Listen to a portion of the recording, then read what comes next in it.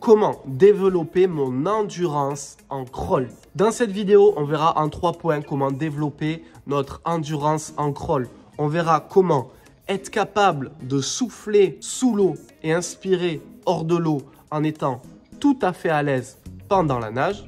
On verra qu'il est hyper important d'être à l'aise avec votre flottaison pour développer une bonne endurance. Et on verra aussi comment vos appuis vont vous aider à avoir une meilleure endurance. À la fin de cette vidéo, je vous donnerai une stratégie pour développer votre endurance, c'est-à-dire par exemple passer de 50-100 mètres à plus de 1000 mètres en crawl. On est parti avec le sujet. Avant de commencer, sachez que je développe des parties 2 dans mes vidéos à chaque fois qu'une de mes vidéos atteint les 1500 pouces bleus. Vous êtes énormément à regarder la chaîne en ce moment et je vous remercie. Et donc voilà, je voulais faire un petit peu ce concept pour que euh, vous puissiez être actif sur la chaîne YouTube euh, grâce à un petit support, le pouce bleu. Alors n'hésitez pas et moi je développerai des parties 2. N'oubliez pas de vous abonner à cette chaîne YouTube si ce n'est pas déjà fait.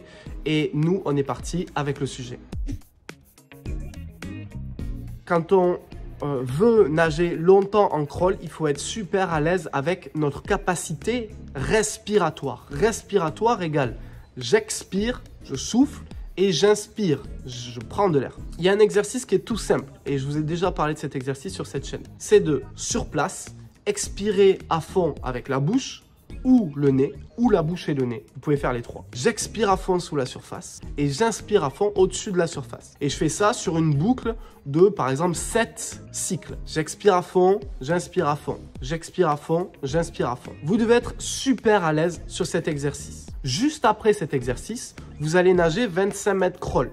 Vous allez essayer sur vos trois coups de bras, 1, 2, 3, d'expirer à fond et sur le coup de bras où on inspire, d'inspirer à fond. Ce qui fait que je fais un exercice statique sur lequel je dois être totalement à l'aise, où je teste mes capacités expiration, inspiration.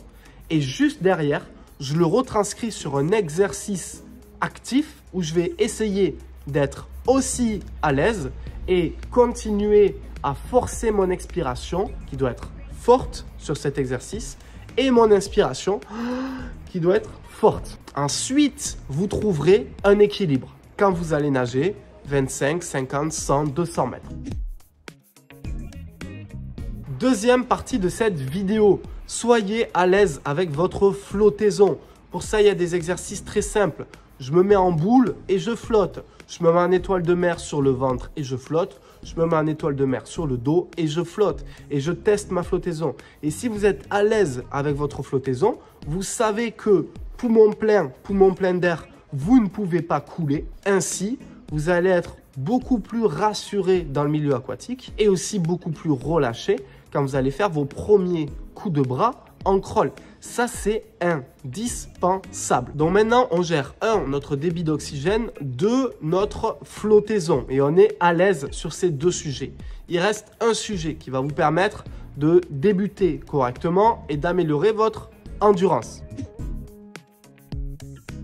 Il s'agit de la force que vous déployez sous l'eau, vos appuis.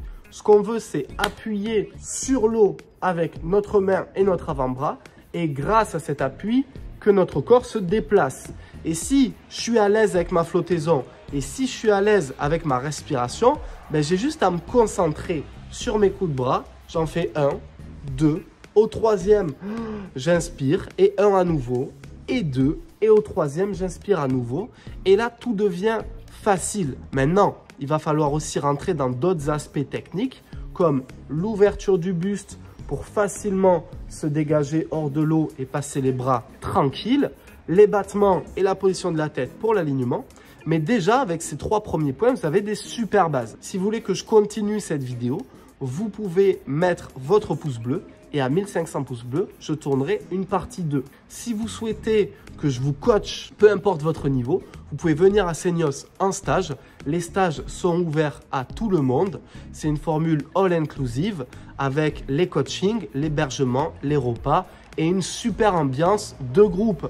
Le lien est dans la description. Stage de natation à Seignos, il y a crawl, crawl yoga, quatre nages et eau libre. Certaines dates sont déjà complètes, alors n'hésitez pas à aller faire un tour sur le site. Pour un accompagnement en ligne, il y a mes programmes en ligne et une belle promo en ce moment. C'était Malcolm, je vous dis à très bientôt. Ciao